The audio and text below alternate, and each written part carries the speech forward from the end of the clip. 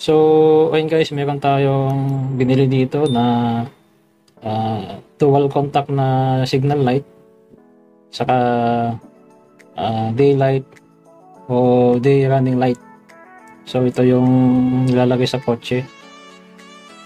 So, ayan siya guys. MSM ang tatak. At ito naman yung day running light.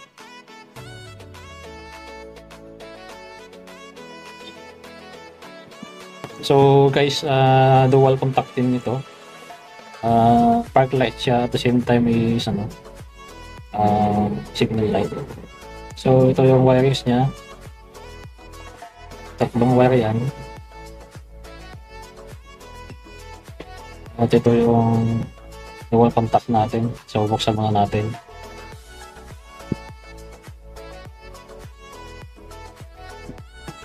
So, ganito guys yung itsura niya. So, ayan. Meron siyang isang wire. Ito yung pinaka park light niya. So, ayan. Kaya ganito ang kinuha ko guys is maliwanag kasi yung kanyang ilaw. At wala kasi akong tiwala sa signal light. So, sobrang hina kaya papalitan natin yung gamit natin. So, ayan. Meron tayong battery dito for testing. Tingnan muna natin kung gumagana siya. So, kabit muna natin yung mga wires niya. Pagdugtugtugin muna natin. At uh, isa lang naman ang connection ng mga yan. So, bipolar lang yan guys. So, yung black, yan yung negative niya.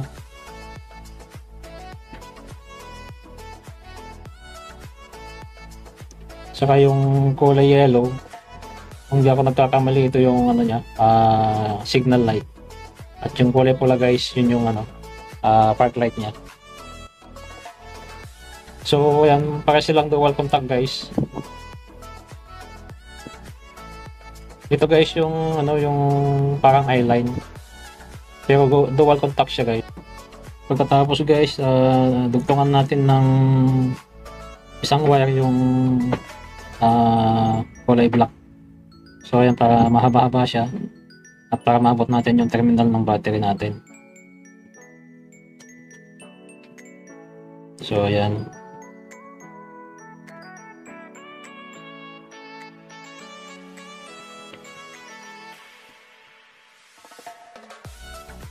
Yan guys, dilaw na lang yung napili pong kulay guys at yan lang naman available natin kulay ngayon. So ayan. Ayan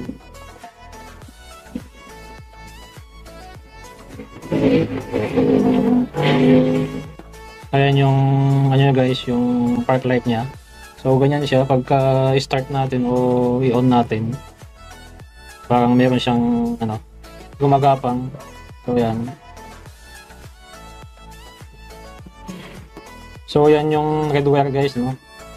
So yung yellow wire naman.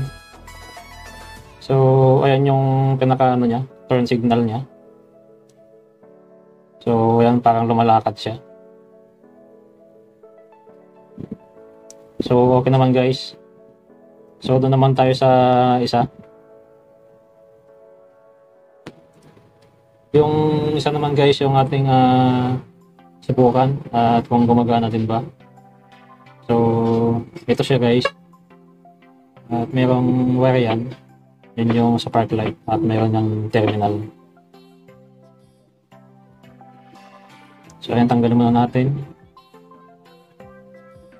At ipapakita ko sa inyo guys kung paano siya may kinakabit. Para hindi na tayo magsugat ng wire. So ayan.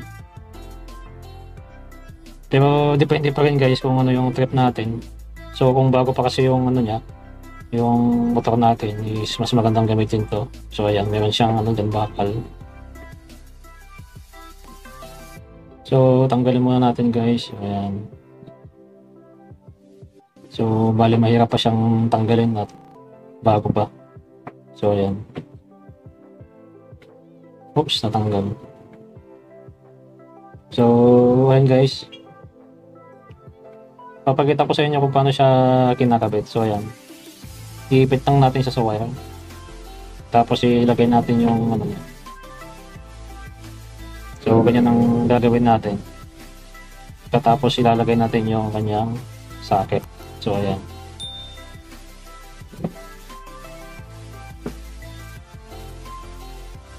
So, testing lang to guys ha. Pinapakita ko lang sa inyo kung paano siya kinakabit. So, ayan, para may idea na kayo. At, testingin muna natin kung talagang gumagana.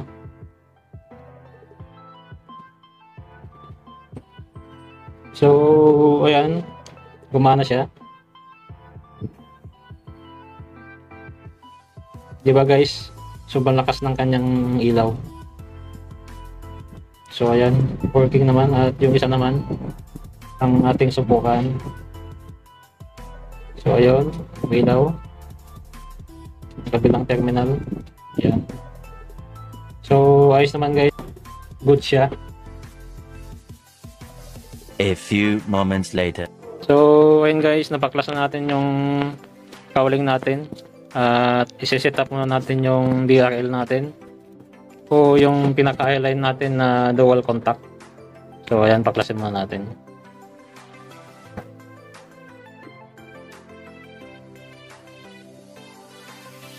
So guys, punasan muna natin siya.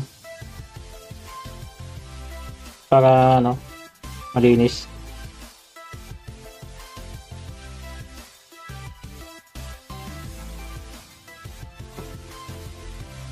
So, ayan guys, didikit na natin siya sa paligid ng kawaling natin. So, ang gagawin natin guys is sa labas lang natin siya ano, ididikit. So, hindi na natin kailangang baklasin yung loob ng lens ng headlight natin. So, okay na yun ganyan guys. At hahatiin natin siya guys hanggang sa kumasya sa ating ano, cowling. So, ayun, gugupitin ko siya. So may mga ano naman yan guys. Yan. Kumbaga may guide naman ng kung saan mo siya gugupitin. So yan.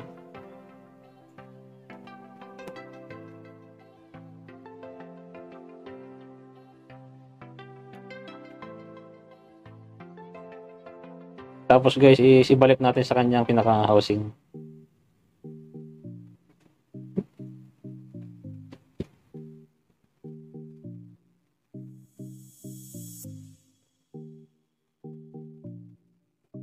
Yan guys, yung pinaka-housing niya is ano, nylon.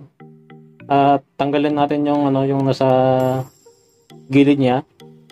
So para kumasya sa ating ano, cowling at matipis lang yung pagkakadikit natin. At syempre para walang sagabal.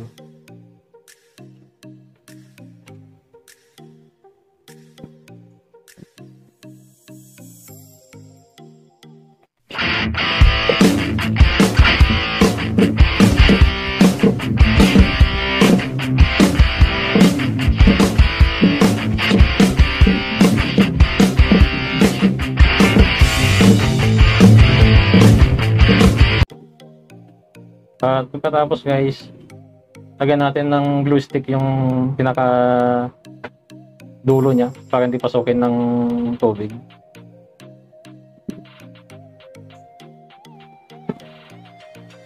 At para rin hindi gumagalaw-galaw.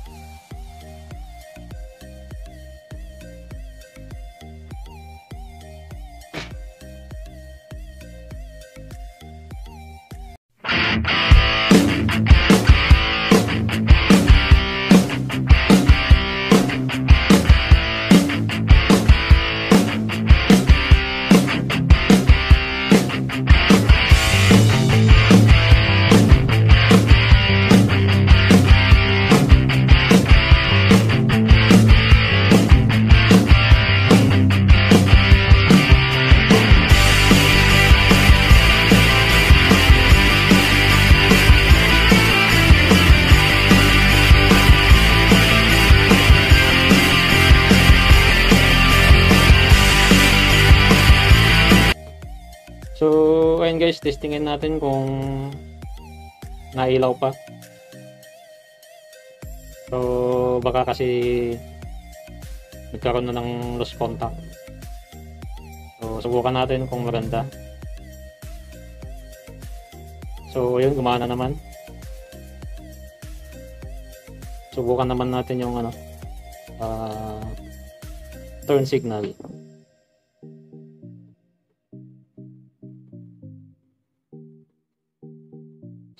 Guys, gumagana siya.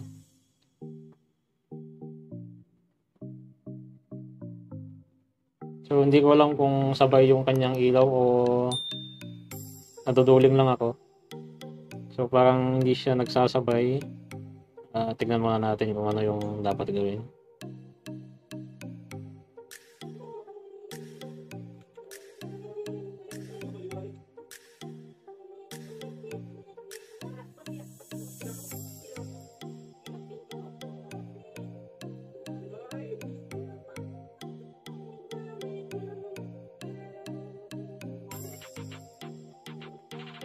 Mukhang hindi siya pantay guys yata yung ano natin pagkakagupit natin. So bawasan muna natin.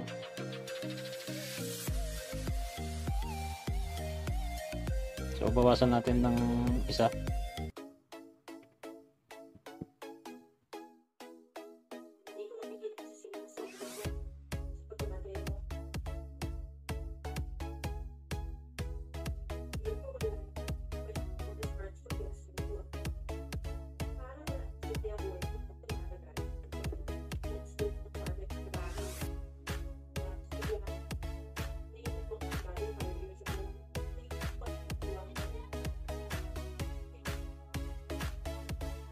Ayun guys, magsasabay na siya.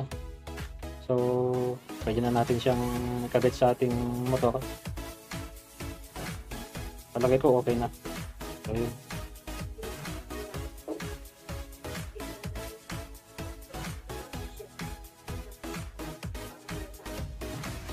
So, ayusin muna natin siya at i-fix muna natin. Para hindi siya gumagalaw-galaw. So, tingnan muna natin yung mga part na hindi na lagyan ng glue.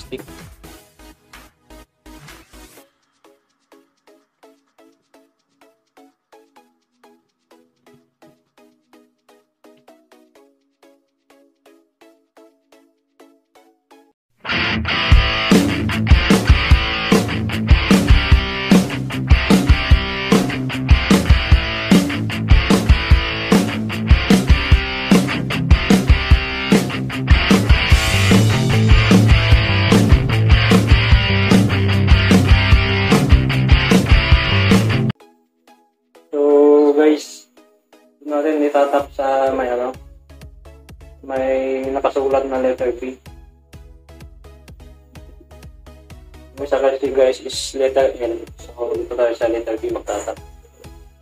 So ito yung pinaka-part light niya guys.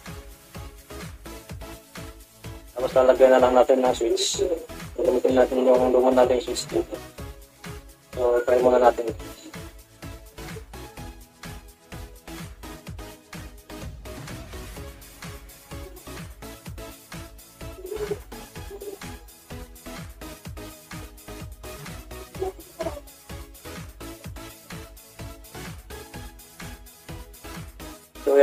Light mo. Tapos, pag nag-signal light tayo, basta kung mamamatay yung ah, park light, tapos mag-blink yung signal light.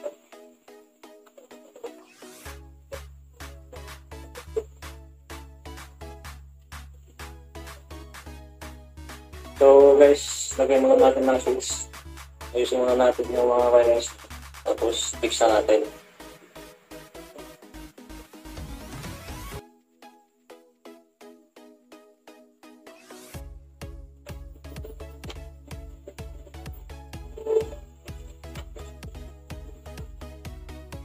Guys, magkakapalar lang siya. Pagka naka-on yung ating ignition switch, pag pinatay mo, mamamatay din siya. So, Talagyan na lang natin siya ng switch. Uh, pag hindi natin yung pwedeng gamitin o sa araw, pwede natin siyang patay. So, pati na rin yung ano natin, yung malagay sa headlight. So, check na natin guys yung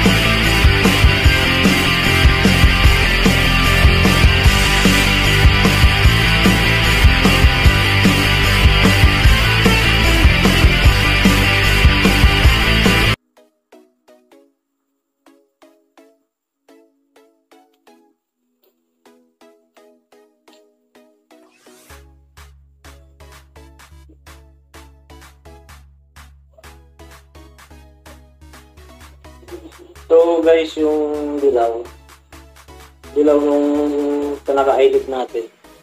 So, yun ang itatarn natin sa positive ng flasher. Ah, wire ng flasher, positive. Bali, sasabay ko na siya guys sa flasher.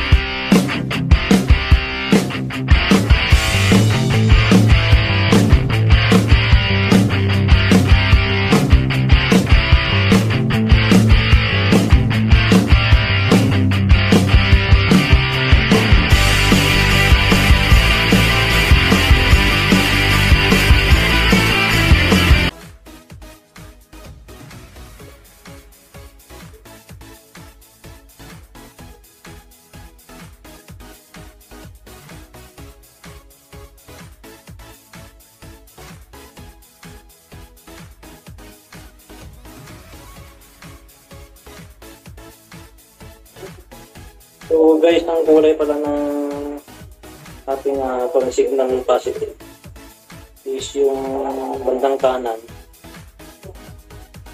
Kulay green, pure green siya. Tapos yung kaliwa is pure black. Yun po yung positive. So, yun lang. So guys, yung pinaka-part light, nagsama ko na siya malagyan na lang natin sa switch. Tama na lang dito sa may ano, mga plaza.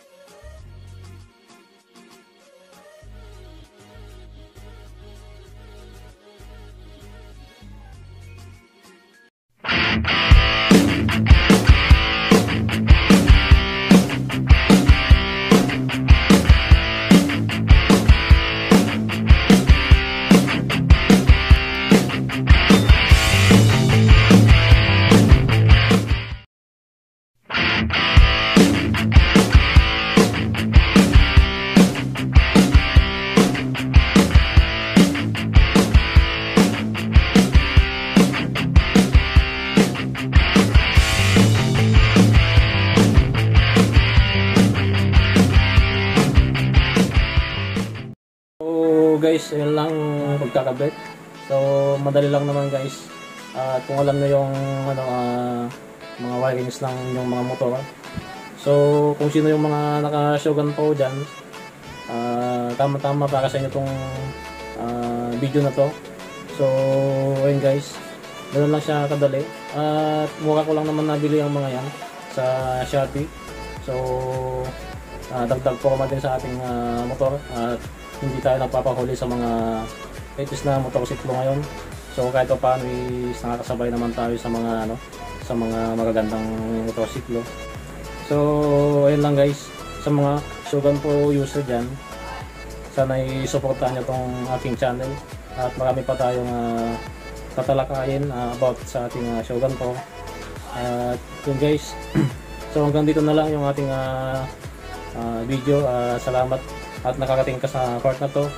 So sana i-share nyo naman tong ating ah, video at para malaman din ng ah, iba at makarating din sa kanilang kaalaman. So ayun guys, kaysa naman na magbayad pa tayo, so kayang-kaya naman natin na gawin kung itong mga ganitong klaseng ah, ginagawa sa mga motorsiklo.